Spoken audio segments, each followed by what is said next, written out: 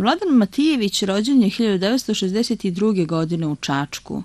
Počeo je da objavljuje 1995. i do sada je objavio tri romana, dve zbirke poezije i zbirku pripovedaka Prilično mrtvi, za koju je dobio Andrićevu nagradu 2000. godine. Njegov roman Pisac iz daleka je jubilarni 50. dobitnik Ninove nagrade za roman godine u 2003. godini.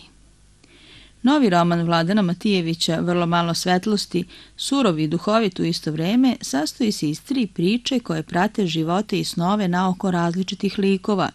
Američke istoričarke umetnosti Hillary, bivšeg ministra u vladi pre političkih promena u Beogradu Milutina Čabrinovića zvanog Antracit i absolventa filozofije Đorđa Istine, dojuče uspešnih, a sada poraženih ljudi.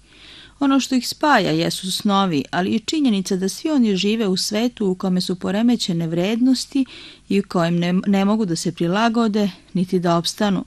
Pad im je neizbežan i prati ga saznanje da je taj pad zaslužen nekom krivicom i grehom. U okolnostima koje nisu birali, u životima u koje su bili bačeni bez slobode izbora. Njihova bekstva su možda očekivana, beže u maštu i u snove, ali ovi se pretvaraju u noćne more, u veća ili manja ludila.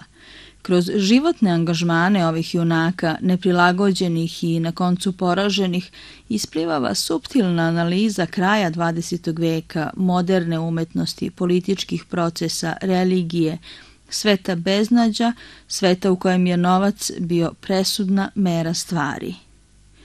Kako se moglo čuti u ovogodišnjem 23. poredu izboru za Mešinu nagradu, učestvovalo je 47 književnih kritičara i teoretičara koji su predlagali po pet naslova iz svih žanrova iz prošlogodišnje produkcije. Za Matijevićevo delo glasalo je njih 16.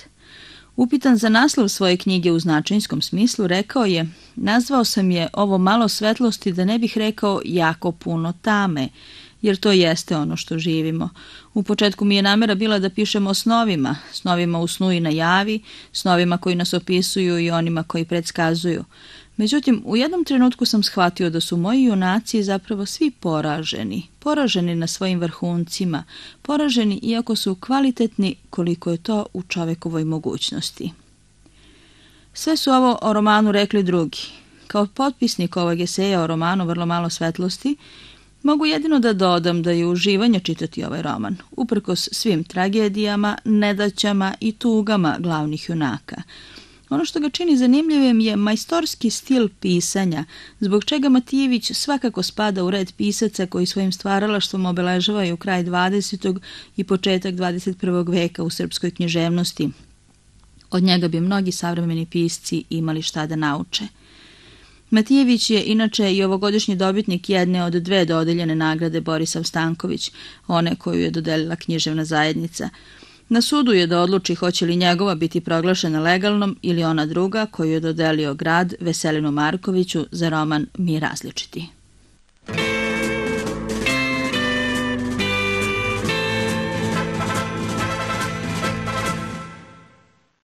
Dobro, Sve je dobro, zaplitao sam jezikom, ali nisam odustajao.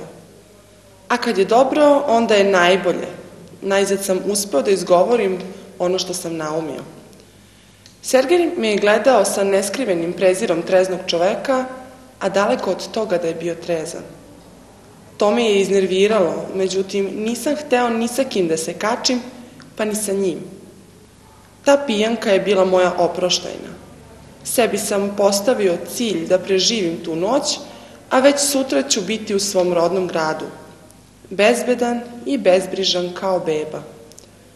Poželao sam da se oprostim sa svima, da im kažem da se neko vreme nećemo viđati. Srećom, uspeo sam da se obuzdam. Na vreme sam naslutio da bi bilo glupo da odam svoje namere. Da sam to učinio, moj odlazak bi izgubio svaki smisao. U sebi sam počeo da ponavljam, najbolje je da nestaneš bez reči, najbolje je da sve uradiš onako kako si trezan isplanirao. Neko vreme sam se divio svojoj inteligenciji. Samo sam se dvoumio da li da se pozdravim sa Ivonom. Nisam mogao da se setim šta sam po tom pitanju trezan mislio. I taman sam rešio da joj pri odlasku šapnem s Bogom, došlo mi je do svesti da to ne bi bilo dobro za njenu sigurnost. Morao sam otići bez i jednog pozdrava. Za naš rastanak iskapio sam jednu čašicu rakije i jednu za Ivoninu sreću i jednu za moju sreću na putu. A onda sam posumnjao u svoje odluke donete u treznom stanju. Da li su one ispravne? Da li stvarno vode ka dobrom? Što sam više pio, sve sam bio sigurniji da su moji strahovi bezrazložni. Jačala je tog dana više puta oživljavana nada da je Toroman umro prirodnom smrću. Toliko njih umire nenasilno, što ne bi on.